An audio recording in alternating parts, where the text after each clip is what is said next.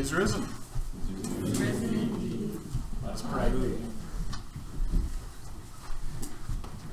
O God, our Father, whose praise is from those whom you have called from darkness to faith in Jesus Christ for the forgiveness of sins, uplift our hearts to the holiness of your presence, that with pure hearts we may adore your name and worship you with joy on our lips. Through Jesus Christ, your Son, our Redeemer and Lord, who lives and reigns with you in the Holy Spirit forevermore. Amen. We sing our first hymn, number 202.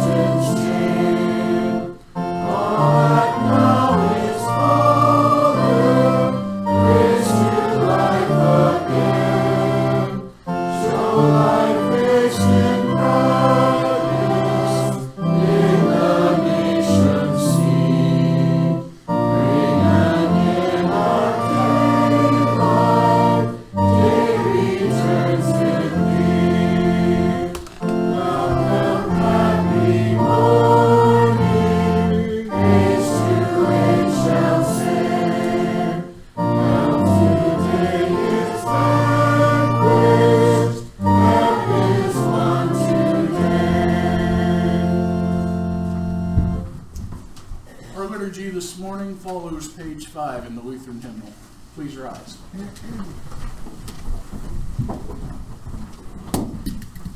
And we begin in the name of the Father, of the Son, and of the Holy Spirit.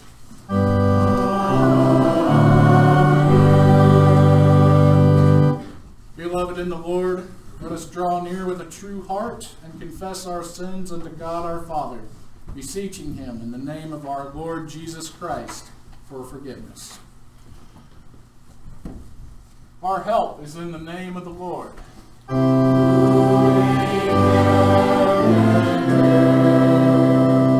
I said, I will confess my transgressions unto the Lord.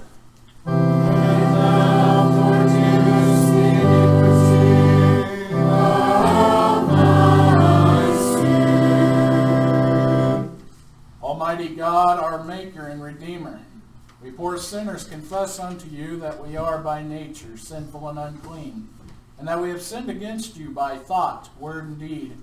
Wherefore we flee for refuge to your infinite mercy, seeking and imploring your grace for the sake of our Lord Jesus Christ. O most merciful God, who hast given thine only begotten Son to die for us, have mercy upon us, and for his sake grant us remission of all our sins, and by thy Holy Spirit increase in us true knowledge of thee, and of thy will, and true obedience to thy word, to the end that by thy grace we may come to everlasting life, through Jesus Christ our Lord. Amen.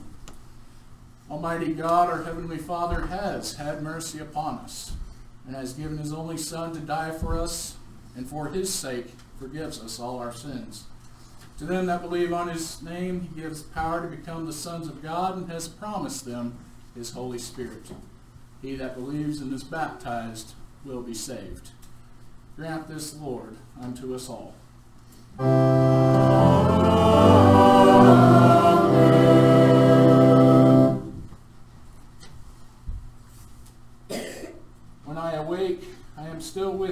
Hallelujah.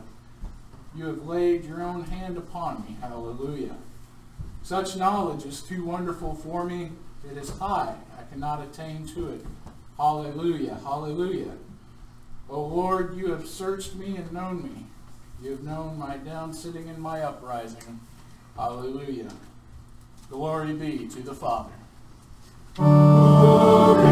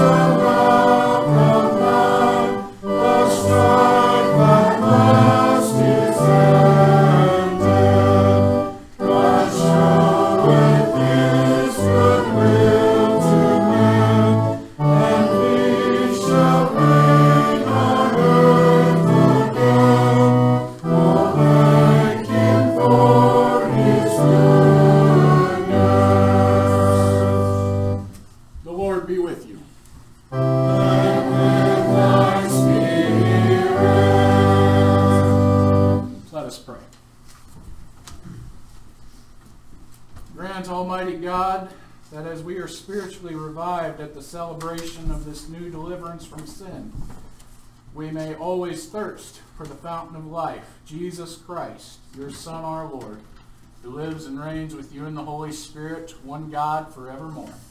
Amen.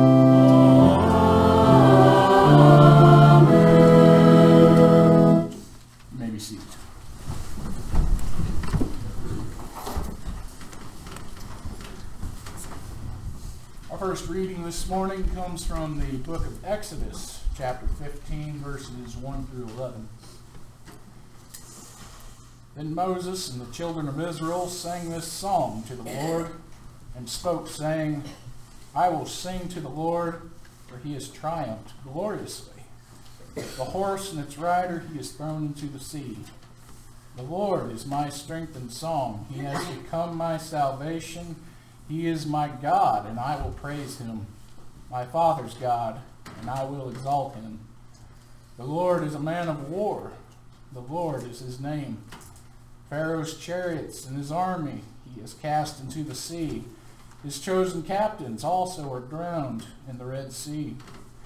The depths have covered them. They sank to the bottom like a stone.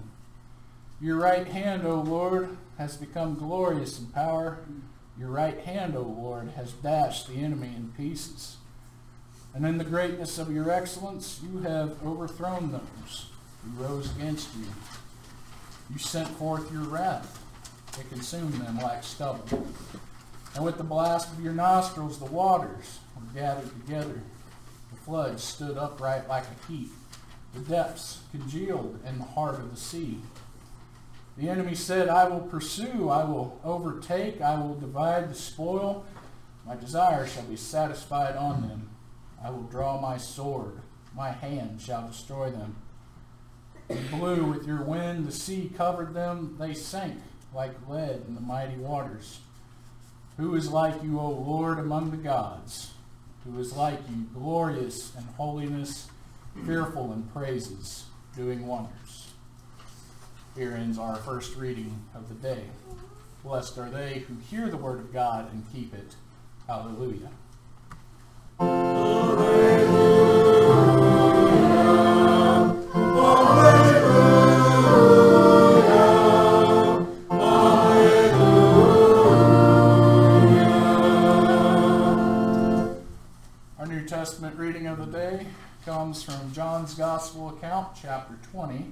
Verses 1 to 18.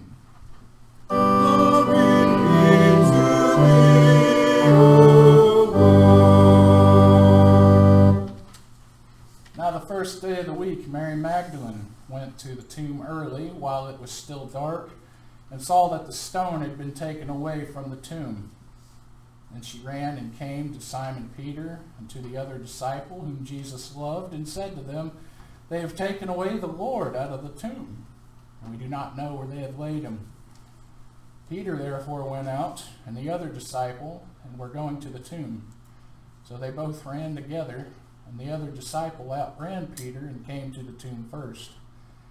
And he, stooping down and looking in, saw the linen cloths lying there, yet he did not go in. Then Simon Peter came following him and went into the tomb, and he saw the linen cloths lying there and the handkerchief that had been around his head, not lying with the linen cloths, but float, or folded together in a place by itself. Then the other disciple who came to the tomb first went in also, and he saw and believed. For as yet they did not know the scripture that he must rise again from the dead. Then the disciples went away again to their own homes. But Mary stood outside by the tomb weeping. And as she wept, she stooped down and looked into the tomb. And she saw two angels in white, one at the head and the other at the feet, where the body of Jesus had lain. And they said to her, Woman, why are you weeping? She said to them, Because they have taken away my Lord, and I do not know where they have laid him. Now when she had said this, she turned around and saw Jesus standing there, and did not know that it was Jesus. Jesus said to her, Woman, why are you weeping? Whom are you seeking? She, supposing him to be the gardener, said to him, Sir, if you have carried him away, tell me where you have laid him, and I will take him away. Jesus said to her, Mary. She turned and said to him, Rabboni, which is to say, Teacher. Jesus said to her, Do not cling to me, for I have not yet ascended to my Father. But go to my brethren and say to them, I am ascending to my Father and your Father, and to my God and your God. Mary Magdalene came and told the disciples that she had seen the Lord, and that he had spoken these things to her. Here ends our New Testament reading. Praise be to time, we confess our faith in the words of the Apostles' Creed. Please rise.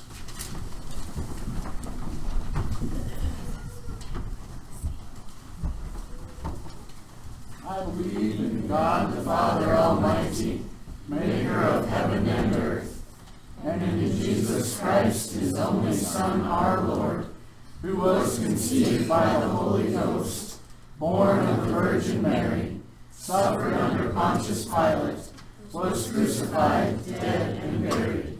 He descended into hell. The third day he rose again from the dead. He ascended into heaven, and sitteth on the right hand of God the Father Almighty.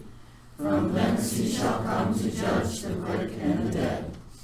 I believe in the Holy Ghost, the holy Christian Church, the communion of saints, the forgiveness of sins, the resurrection of the body, and the life everlasting. Amen. You may be seated. At this time, I would ask the children to come forward.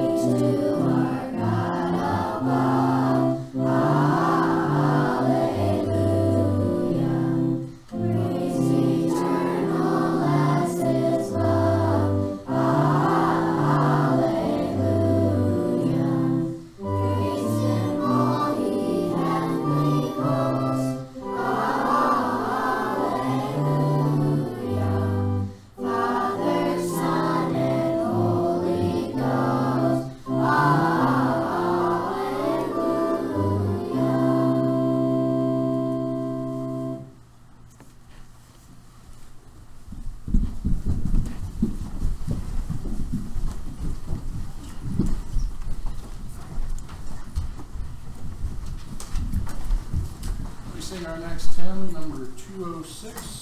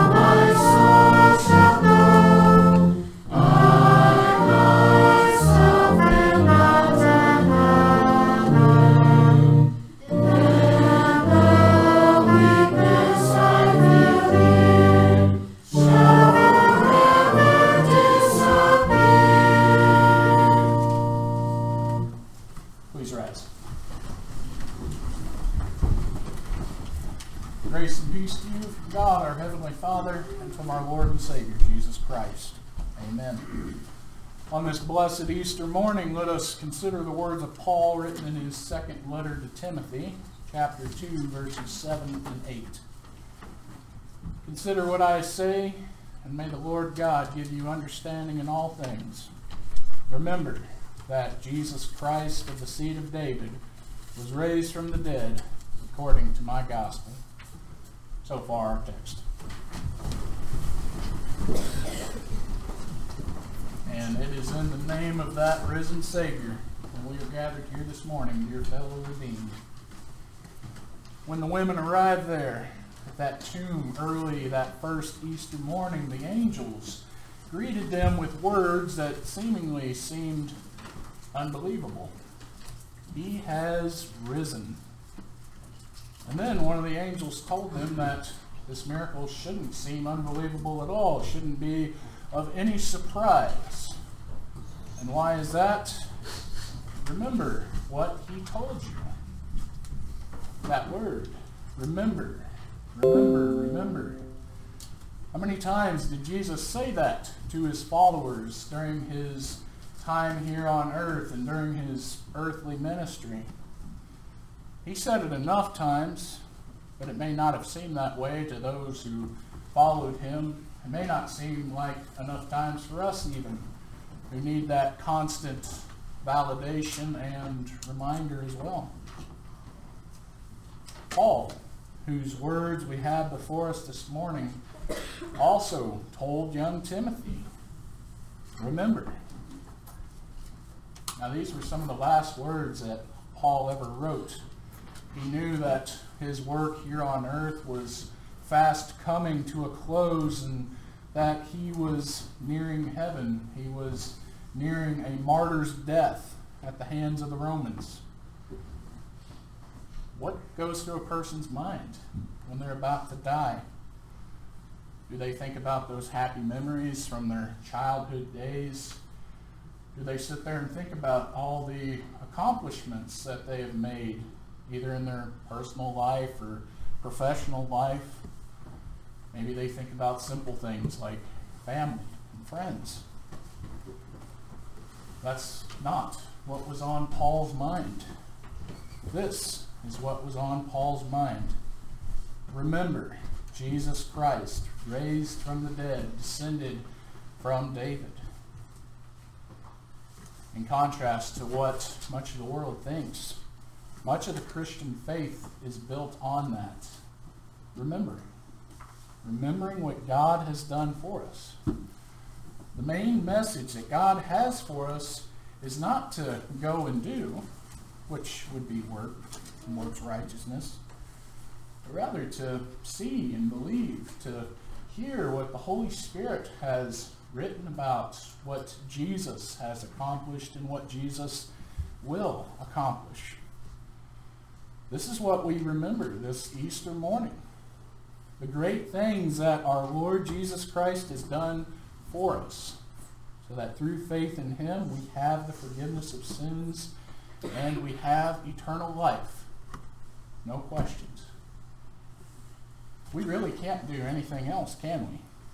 What else can we do this morning but go to that empty tomb and gaze inside as the two disciples did, or as Mary did, and ponder with amazement what this means for us? Ponder with amazement what we find in there, which is absolutely nothing.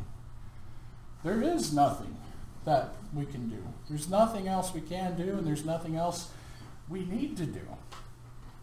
Because God, in His rich grace, has done everything for us. He is the one who defeated sin, death, and hell. He rose in victory, that guarantee for all people that sin is paid for. That guarantee that by His power He will also raise from death all who believe in Him. It is He who Paul says in 1 Corinthians who gives us the victory over death through our Lord Jesus Christ. How could we possibly forget these things? Well, Jesus certainly hasn't changed over the years. He's eternal. He's the same yesterday, today, and forever. But the nature of his disciples hasn't exactly changed much either. Know, we still have our fears. We have our doubts. We're sometimes slow to believe those things which were recorded for our benefit. But that's all the more reason to listen to what the Holy Spirit is saying here through the Apostle Paul. Remember Jesus Christ. Remember that name. A person's name represents everything that they are, everything they've done, everything they stand for. And especially in that point in history, the Hebrews really put an emphasis on the definition of these names. And what do we have here? We have a name that God himself gave to his son, the name that means Savior, the name that means Jehovah saves. Because Jesus came to this earth on a mission. He came to do battle with the forces of hell. Throughout his earthly ministry, he undid everything that Satan had tried to do. Jesus healed the sick. He drove out demons. He raised the dead. And as we saw three days ago, this escalating battle had reached its head on Good Friday in that last decisive hour. Remember the agony of the cross as God and Satan went head to head for something very particular. And that particular thing was the possession of your souls. It was a struggle to the death. And it did end in that. Because at the end of the day, Jesus Christ our Lord lay dead within that tomb. But it's here this morning that we see at last not a tomb with a rock in front of it, with guards in front of it, but we see the stone moved away, that heavy stone which is impossible to move. And we see those cloths lying in there, but no body. We see that this was not the end. This was the beginning. Christ has risen. He is alive, and it is death that has died. Remember that Jesus is the Christ. Now, Christ is one of those things that we take as a name and use it as a name oftentimes, but Christ is actually a title. And it means the anointed one. This is the one whom God handpicked and anointed to be our substitute, our champion. He is the Messiah. All the prophecies of Scripture are fulfilled in him. There is no mistake there.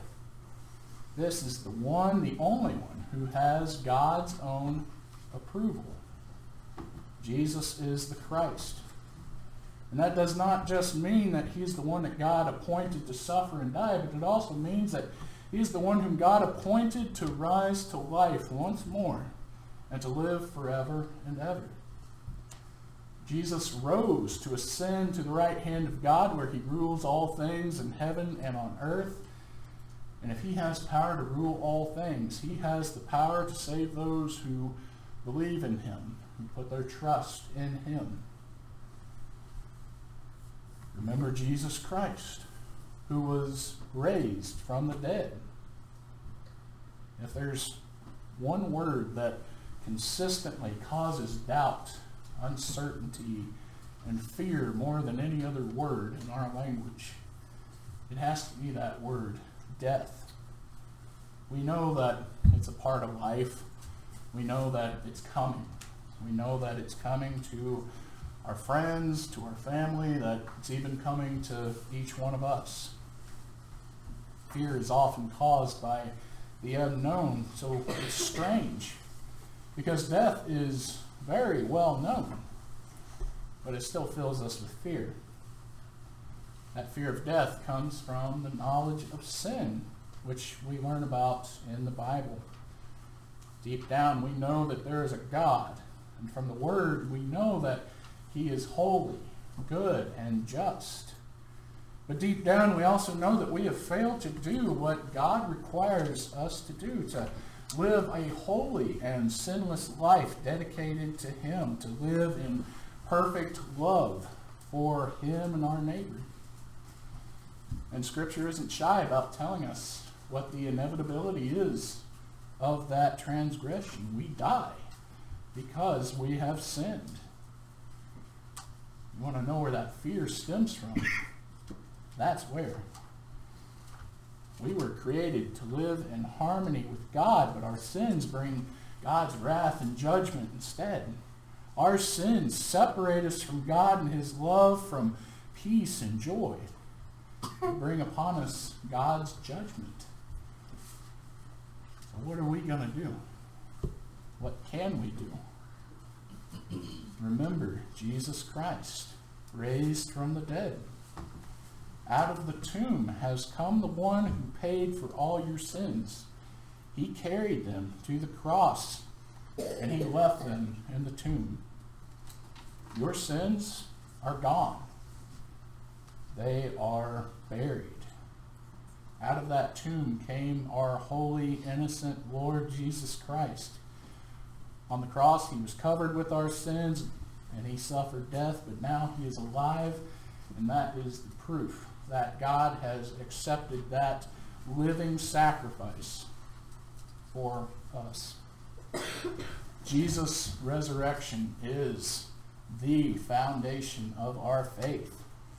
That's what we're celebrating here today. That is what we celebrate every day because that's where we get life. His, his resurrection gives us certainty about our forgiveness and all the promises God has made. Just look at what God has done for each of you in your lives. You can trust him with your life, with your soul. And seeing Jesus Christ raised from the dead creates an unshakable faith and hope that is ours no matter what may happen in our earthly lives. Remember what Jesus said, I am the resurrection and the life. The one who believes in me will live, though he may die. That is your faith, your hope, and your joy too. And you can always have that faith, hope, and joy, even in the darkest of days that face you on this earth, by remembering that simple message, that simple truth that Jesus Christ was raised from the dead. And finally, remember also that he is descended from David. An odd thing to think about here this morning. That's usually a Christmas thing that we go into. But Jesus Christ comes from the line of a king. He himself is a king. In fact, he's the King of kings and the Lord of lords. Heaven is his throne and earth is his footstool. He commands and rules all things by his powerful and almighty word. And this king with all power protects you. In this same letter that Paul wrote to Timothy, he also had this to say that the Lord will rescue me from every evil attack and will bring me safely to his heavenly kingdom. But there's actually something a little bit more about why we celebrate the fact that he is a descendant of David. Because David was a king, yes, but David was also a man. So is our Lord Jesus Christ. It wasn't just the Son of God who came out of that tomb on Easter morning. It was also a man, just like the rest of us.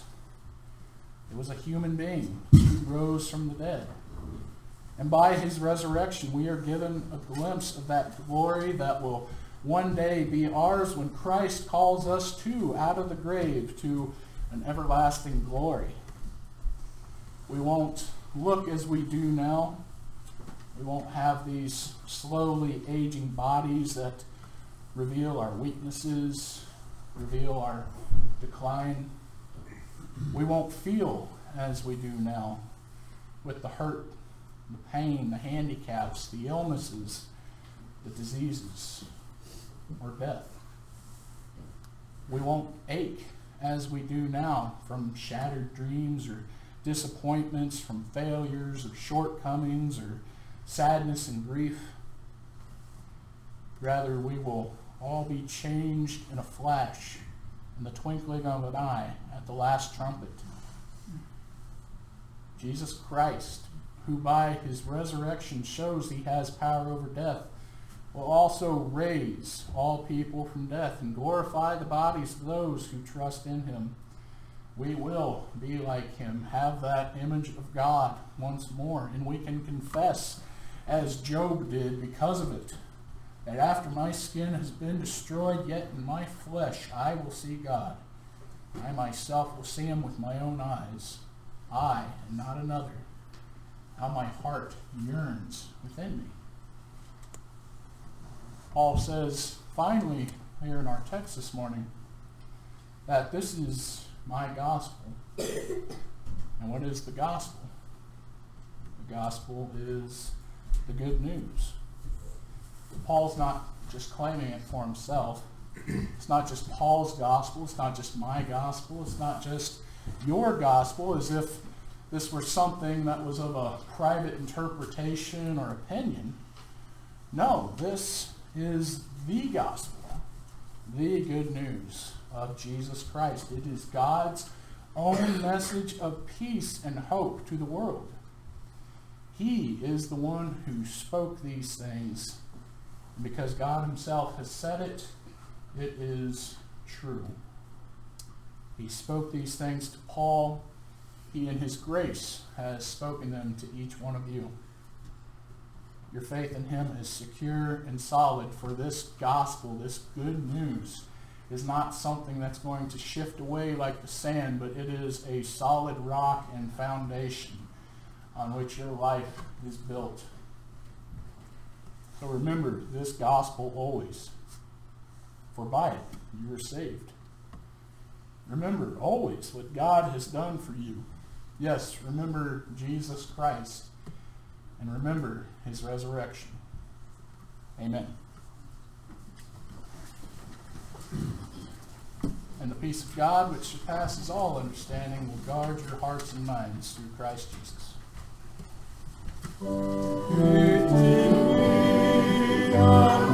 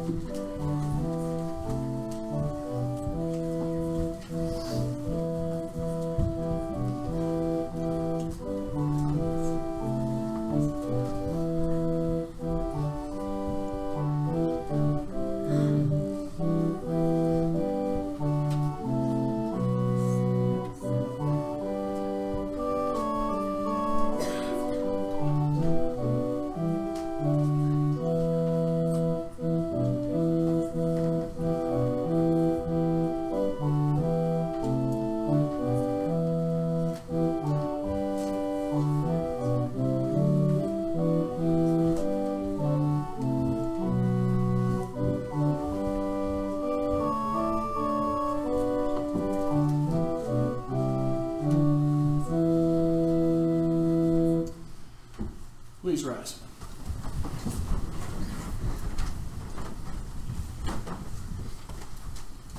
Precious Savior, Jesus Christ, we thank and praise you that by your suffering on the cross, you endured the very agony of hell for us, and that by your death you have reconciled us to God. But on this day we especially thank and praise you for your resurrection from the dead, for it proves that you are God's Son and seals your sacrifice as the full payment of our sins. O Jesus, may we never cease to praise you with our hearts and lips for all that you have so graciously done for our salvation. Ever living Lord, as you were raised up and glorified in your body, raise us up by the Spirit from spiritual deadness to trust you with all our hearts and to serve you in godliness all our days. Fill our hearts with joy as we look with longing to the day of your glorious reappearing when you will raise all the dead from their graves. Comfort us with the knowledge that on that day our vile bodies shall arise in the likeness of your own glorious resurrection body. O Savior, we need you every moment of every day. Be with us and shower upon us your promised grace and blessings. As our exalted prophet, instruct and encourage our hearts with the gospel of forgiveness and help us grow in our faith and knowledge of salvation. As our exalted high priest, hear us when we pray in your name and intercede at our Father's throne in our behalf. As our exalted King, watch over us day by day, protecting us from all danger, guarding and keeping us from every evil. Preserve us to your heavenly kingdom by granting us daily repentance and renewal of faith. O Jesus, our beloved friend, whose continual presence has been promised us, be at our side in all of our troubles. Grant us strength to bear them and wisdom to overcome them. Grant us grace to endure every sorrow that comes our way and courage to cope with every disappointment. You are the help of the helpless who lifts up those who are fallen. Therefore, comfort and relieve us according to our individual needs. As we travel the hard road of suffering and sorrow, may we learn to love you more and eagerly await the treasures that you have reserved for us. All this we ask to the glory of your name, O triumphant Christ, who lives and reigns forever. And it's in your name also that we pray. Our Father, who art in heaven, hallowed be thy name. Thy kingdom come, thy will be done, on earth as it is in heaven. Give us this day our daily bread, and forgive us our trespasses, as we forgive those who trespass against us. And lead us not into temptation, but deliver us from evil. For thine is the kingdom, and the power, and the glory, forever and ever. Amen. May be seated. We sing our next hymn, number 210.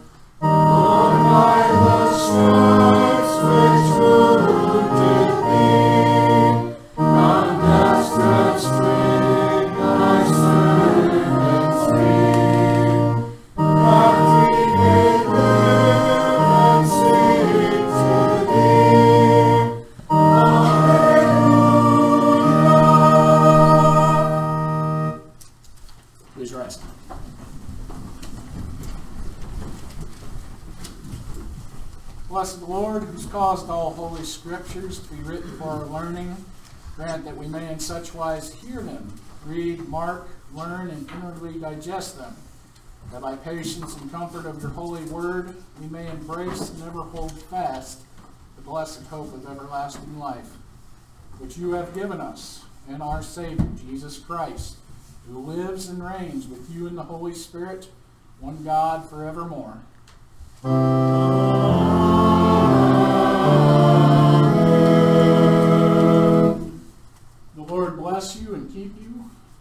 his face shine upon you and be gracious unto you. The Lord lift up his countenance upon you and give you peace. We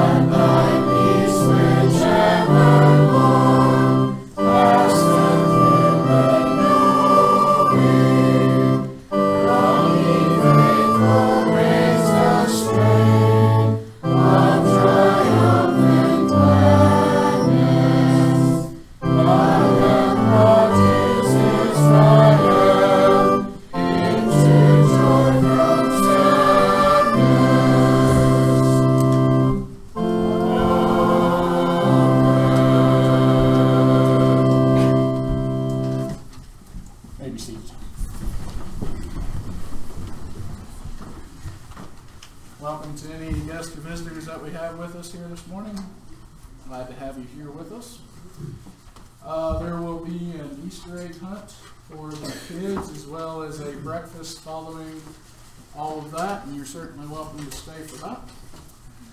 Uh, thank you to all of the kids for the hard work they did these last two weeks and really all the weeks before that, getting ready for singing here today, as well as our two musicians that we had for the service. Thank you for that.